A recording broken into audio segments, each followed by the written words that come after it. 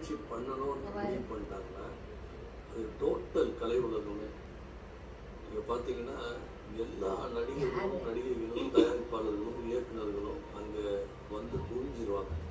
அதை எப்படி அவர் ஆர்கனைஸ் பண்ற பார்க்க பிரமிப்பா இருக்கும் வர முடியாதுன்னே சொல்ல முடியாது. அதே மாதிரி வந்து கலைஞர் அவர்களாக இருக்கட்டும் அவர் சிஎம்மா இருக்கும்போதும் சரி அதே போல மாண்புமிகு அஹ், அம்மா அவர்களாக இருக்கட்டும் முதல்வர்களும் விஜயகாந்துக்கு வந்து ஒரு தனி மரியாதை கொடுப்பாங்க கேப்டன் அவர்கள்.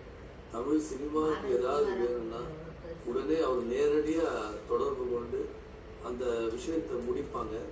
நீங்க அந்த ஃபங்க்ஷன் அவர் நடத்தின இங்க நடத்தின ஃபங்க்ஷனும் சரி வெளிநாட்டுல வந்து நடிகர் சங்கத்துக்காக நடத்தின ஃபங்க்ஷனும் சரி அது வந்து எல்லாரையுமே ஈக்குவலா பார்ப்பாங்க.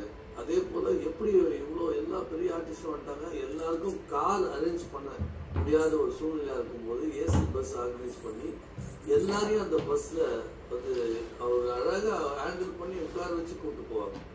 இந்த காலத்தால் அழிக்க முடியாத விழாக்கள் தான் இப்போ நம்ம பார்த்துட்டு இருக்க மாண்புமிகு ஐயா கலைஞர் அவர்களுடைய ஃபங்க்ஷனாக இருக்கட்டும்.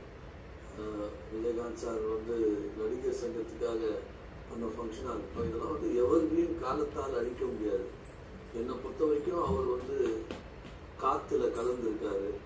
ஒவ்வொரு நடிகனுடைய வீட்டுக்குள்ளேயும் அவர் இருப்பார். ஸோ மக்கள் மனதில் வந்து அவர் கேப்டனாக வந்து என்னைக்குமே நிலைச்சு நிற்பார் அவருடைய மறைவு வந்து நீங்கள் பாருங்க. குக் கிராமத்துல இருந்துலாம் வந்து மக்கள் வந்து குவிய ஆரம்பிச்சிருக்காங்க. அந்த இடம் வந்து நிச்சயமா அது பத்தாது. நல்ல விதமா அவரை வந்து வழி அனுப்பி காலத்துக்கும் அவர் வந்து நம்மளோட வாழ்ந்துக்கிட்டே இருப்பார். ஓம் சாந்தி ஓம் சாந்தி ஓம் சாந்தி.